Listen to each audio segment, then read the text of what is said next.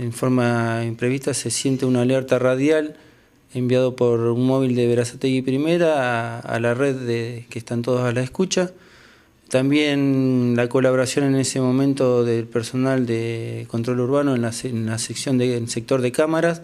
que escuchan el alerta radial de la policía. Con ayuda de las cámaras empiezan a ubicar el vehículo que se estaba tratando de interceptar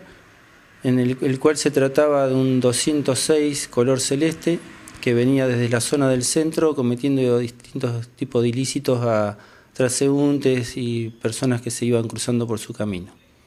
De esta manera el vehículo en persecución toma la avenida Vergara, cruza por el puente eh, hacia el lado de, lo que sería la avenida Milazo, para el lado, tomando para el lado del club de golf, eh, ya para esto todos los móviles de Randelas alertados eh, realizan un operativo cerrojo,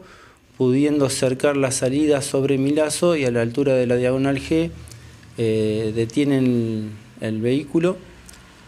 proceden a la detención y a hacer descender del vehículo, que era tratándose de cinco personas masculinas, las cuales al momento de la requisa en presencia de testigos se logra secuestrar efectos de los producto de los ilícitos que venían cometiendo.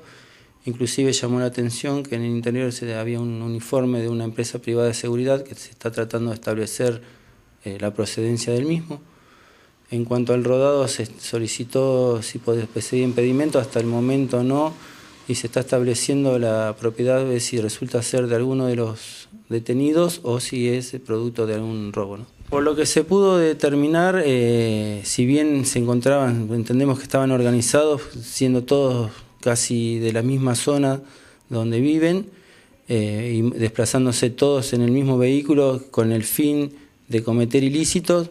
eh, no tenían ningún nada determinado, sino era al azar, ¿no? lo que se le iba cruzando por el camino lo iban robando. Por declaraciones de, los, de las víctimas y de testigos presenciales, se establecieron que por lo menos tres de los cinco estaban armados. Entendemos que formaban una banda eh, con el fin de dedicarse a esta modalidad de asaltos en la vía pública o de lo denominado entraderas en su momento cuando si algún, algún vecino estaría saliendo al momento de su vivienda.